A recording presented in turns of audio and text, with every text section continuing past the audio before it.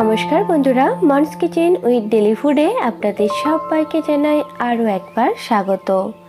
আজকে আপনাদের সাথে শেয়ার করব শীতকালীন সবজি দিয়ে পনিরের একটি অসাধারণ রেসিপি এটা যেমন আপনারা ভাতের সাথে খেতে পারবেন, তেমন রুটি বা পরোটা লুচির সাথে খেতেও ভীষণ ভালো লাগে।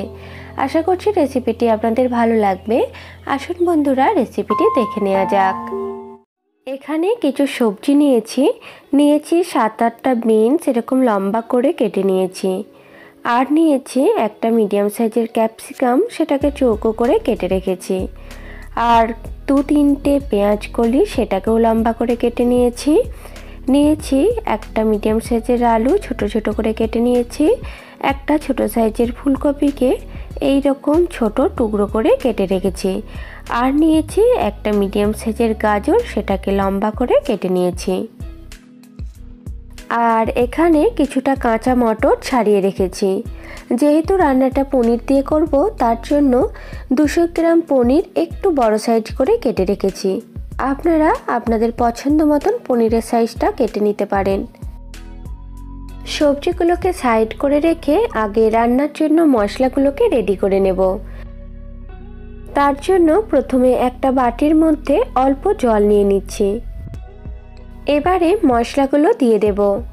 প্রথমে দিয়ে দিচ্ছি ওয়ান টিস্পুন ধনে গুঁড়ো, ওয়ান টিস্পুন দিচ্ছি জিরে গুঁড়ো, ওয়ান টিস্পুন লঙ্কার গুঁড়ো। লঙ্কাটা অবশ্যই আপনারা আপনাদের স্বাদ অনুযায়ী ব্যবহার করবেন। আর হাফ টিস্পুন দিচ্ছি হলুদ গুঁড়ো। রান্নার আগে যদি শুকনো মশলাগুলোকে এইভাবে ভিজিয়ে রাখা হয়, তাহলে মশলাটা ফুলে ওঠে আর রান্নার স্বাদটাও কিন্তু খুবই ভালো হয়। ভালো করে মেশানো হয়ে গেলে সাইড করে রেখে দিয়ে একটা মিক্সার জার নিয়ে নিলাম। তার মধ্যে দিয়ে দিচ্ছি একটা মিডিয়াম সাইজের কুচানো টমেটো আর চোদ্দ পনেরোটার মতো কাজু বাদাম দিয়ে দিলাম। অল্প একটু জল দিয়ে একটা মিহি পেস্ট বানিয়ে রেখে দেব। কড়াই গরম করে নিয়ে দিয়ে দিচ্ছি এক চামচ ঘি। ঘি গরম হয়ে গেলে পনিরের টুকরোগুলো দিয়ে দিচ্ছি। আপনারা চাইলে কিন্তু ঘিয়ের বদলে সাদা তেল দিয়েও পনিরগুলোকে ভেজে নিতে পারেন। পনিরগুলোকে খুব বেশি ভাজা যাবে না। মিডিয়াম ফ্লেমে দু তিনবার উল্টে পাল্টে একটু হালকা হাতে নাড়াচাড়া করে ভেজে তুলে নেব। পনির ভেজে তুলে নেওয়া হয়ে গেলে দিয়ে দিচ্ছি সাদা তেল। এখানে আমি থ্রি টেবিল স্পুন মতো সাদা তেল দিয়ে দিলাম সবজিগুলোকে ভাজার জন্য। তেল গরম হয়ে গেলে সবজিগুলোকে দিয়ে দিচ্ছি। প্রথমে দিয়ে দিচ্ছি ফুলকপির টুকরো, আলুগুলো দিয়ে দিলাম। এরপর দিয়ে দিচ্ছি গাজর আর বিনস। হাই ফ্লেমে সবজিগুলোকে ভেজে নিতে হবে। কয়েকবার নেড়ে চেড়ে নিয়ে দিয়ে দিচ্ছি স্বাদ অনুযায়ী লবণ। গ্যাসের ফ্লেমটা যদি কমিয়ে সবজিগুলোকে ভাজতে যান, সেক্ষেত্রে সবজি থেকে প্রচুর পরিমাণে জল বের হবে। এতে করে সবজিগুলো ভাজার সময় কিন্তু অনেকটা নরম হয়ে যাবে। সবজিগুলোকে একদম লাল করে ভেজে নেওয়ার দরকার নেই। তিন চার মিনিট প্রথমে সবজিগুলো ভেজে নেওয়া হয়ে গেলে দিয়ে দিচ্ছি পেঁয়াজ কলি আর ক্যাপসিকাম। সব কিছুকে ভালো করে নেড়ে মিশিয়ে নিয়ে আরও এক থেকে দু মিনিট মতন সবজিগুলোকে ভেজে নেব। প্রায় দু মিনিট মতন আরও সবজিগুলোকে ভেজে নিয়ে এখন একটা প্লেটের মধ্যে তুলে রেখে দিচ্ছি। একই কড়াইয়ের মধ্যে দিয়ে দিচ্ছি থ্রি টেবিল স্পুন মতো সাদা তেল মশলা কষানোর জন্য। তেল গরম হয়ে গেলে দিয়ে দিচ্ছি একটা শুকনো লঙ্কা দু টুকরো করে দিয়েছি। একটা তেজপাতা সেটাকেও দু টুকরো করে দিয়েছি। দিয়ে দিচ্ছি এক টুকরো দারচিনি, দুটো ছোট এলাচ, মুখটা ফাটিয়ে দিয়েছি আর দিয়ে দিচ্ছি হাফ টিস্পুন গোটা জিরে। ফোড়নটাকে একটু নেড়ে চেড়ে নিয়ে যখন একটা মিষ্টি গন্ধ বেরোতে শুরু করবে, তখন দিয়ে দিচ্ছি দুটো মিডিয়াম সাইজের কুচানো পেঁয়াজ। পেঁয়াজ নরম হয়ে এলে দিয়ে দিচ্ছি হাফ টেবিল স্পুন আদা রসুনের পেস্ট। আদা রসুনটাকে পেঁয়াজের সাথে এক মিনিট মতো ভেজে নিয়ে দিয়ে দিচ্ছি আগে থেকে যে মশলার পেস্টটা বানিয়ে রেখেছিলাম। মশলাগুলোকে একটু কষিয়ে নেব।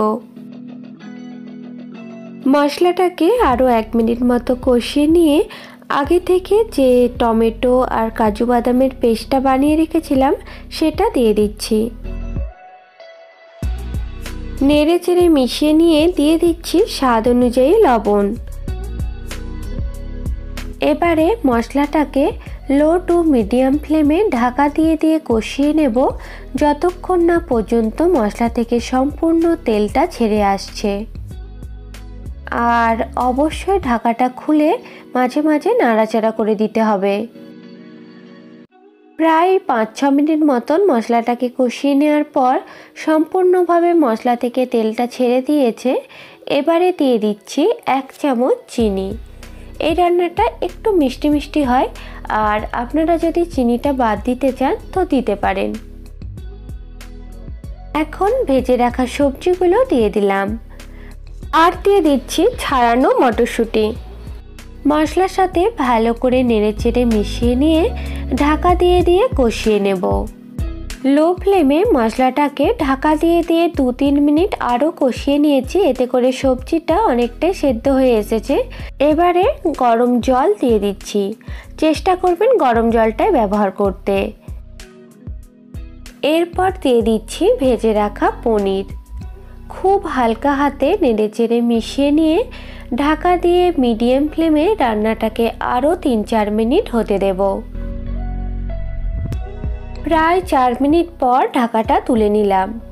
এখন দিয়ে দিচ্ছি এক চামচের চার ভাগের এক ভাগ গরম মশলার গুঁড়ো আর কিছুটা কুচানো ধনে পাতা এর থেকে আর ঝোলটা শুকাবো না, কারণ ঠান্ডা হবার পর আরও একটু ঘন হয়ে যাবে। সব কিছুকে হালকা হাতে মিশিয়ে নিয়ে গ্যাসটা বন্ধ করে দিলাম। বন্ধুরা, আমার তৈরি হয়ে গেল শীতের সবজি দিয়ে পনিরের একটি অসাধারণ রেসিপি।